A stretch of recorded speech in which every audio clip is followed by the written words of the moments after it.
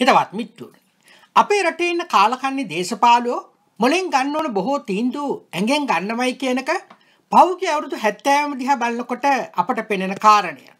විශේෂයෙන්ම මේ පවතින තත්ත්වයේ තුල දේශපාලුවෝ බොහෝ වෙලාවට මිනිස්සුන්ගේ අවධානය වෙන වෙන දේවල් වලට යොමු කරන්නට උත්සාහ කරනවා. විශේෂයෙන්ම ප්‍රායෝගික නොවන මහා සදාචාර සම්පන්න දේවල් වල ගැන මිනිසුන්ට කතා කරලා ඒ මනෝලෝකයේ මිනිසු හිර කරලා දේශපාලුවෝ තමන්ගේ බඩ ගෝස්තරය හදාගන්නවා. කොටින්ම අපේ රටේ ඉන්න අගමැතිවරයා හිටපු විදායක ජනාධිපතිවරයා තමන්ගේ කොල්ලන්ට නිරන්තරයෙන්ම කිව්වේ ඕන තරමක් ගොන්තැඹිලි බීපල්ලා ගෙදර ගේනකොට රන් තැඹිලි ගෙනෙල්ලයි කියලා. ඒ නිසා නාමල් රාජපක්ෂ ඇතුළු මහින්ද රාජපක්ෂ පවුලේ කොල්ලන්ගෙන් අපේ රටේ ගෑනු ඔළුව බේරගත්තේ බොහොම අමාරුයි. සමහර ගෑනු කැමැත්තෙන් රෙද්දිස්වා සමහර ගෑනු අකමැත්තෙන් කරා හැබැයි ප්‍රතිඵලය එකයි. හැබැයි මිත්‍රවරුනි මෑත ඉතිහාසය තුළ තාත්තල පුතාලා එක ගෑණි එක්ක බුදියපු රටක් තිබුණා නම් ඒ අපේ රට.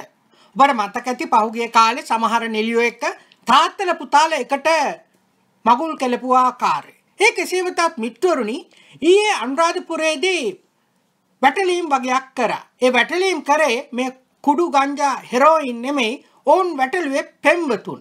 පෙම්වතුන් එකසිය දහයක් අත්තනංගොඩ ගත්ත කියලා තමයි මේ වෙනකොට පොලිස් ආරංචි මාර්ග සඳහන් කරන්න. මිත්‍රවරුනි මේ ලෝකේ බොහෝ දේවල් ප්‍රායික නොවන ආකාරයට අපේ රට කරන්න උත්සාහ කරනවා කියන එක අපි නිරන්තරයෙන්ම කිව්වා. දියුණු සමාජයන් පවතින බොහෝ ධනපති රටවල් වල මීට වඩා සමාජය වෙනස්. විශේෂයෙන්ම තරුණ තරුණයන්ගේ අවශ්‍යතා සම්බන්ධයෙන් ඒ සමාජයේ ගෞරවනීය ආකාරයට සලකනවා. උදාහරණයක් ගත්තොත් එහෙම සාමාන්‍යයෙන් එම රටවල් වල සිගරට් එකක් බොන්න වයසක් තියෙනවා. ඒ රටවල් වල හැබැයි තරුණ තරුණියන්ට ගිහිලා විනෝද වෙන්න වෙන වෙනම තම් තියෙනවා. හැබැයි ඒ ප්‍රශ්නයක් නොවන ආකාරයට කරන්නේ ඒ සමාජය ඇතුලේ ක්‍රමවේදයක් තියෙනවා. උදාහරණයක් විදිහට ගත්තොත් සාමාන්‍යයෙන් නයිට් ක්ලබ් එකකට ගියොත් එහෙම නයිට් ක්ලබ් එකේ එක කෙළවරක තියෙනවා Tamanට ලිංගිකව හැසිරෙන්න අවශ්‍ය නම් කොන්ඩම් එකක් ගන්න. හැබැයි මේ රටවල් වල කිසිම හේතුවක් උඩ තව කෙනෙකුට ලිංගික බලපෑම් කරන්නට බෑ. එහෙම නැත්නම් තව කෙනෙකුට එරෙහිව ලිංගික ප්‍රචණ්ඩත්වය පාන්නට බෑ.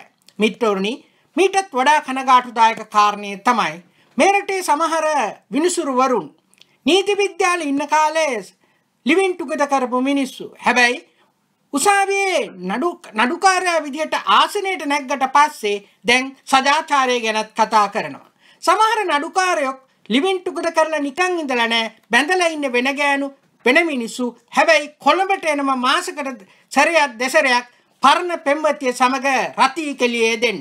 මෙන්න මේ වගේ තක්කඩි පාදර සමාජයක් තමයි මේ අහිංසක පෙම්වතුන් අත්අඩංගුවට අරගෙන අපහසුවට පත් කරන්නේ. ඊටත් එහා ගිය කාරණය තමයි අපේ ඇමති මණ්ඩලයෙන් ඉන්න බහුතරයක් ඇවිල්ලා ස්ත්‍රී දූෂකයෝ. ඉතින් මිත්‍රවරි ඇඟෙන් ගන්න මේ තීන්දුව මොලින් ගන්න පුළුවන් සමාජයක් නිර්මාණය කිරීම ඔබෙත් මගෙත් වගකීම.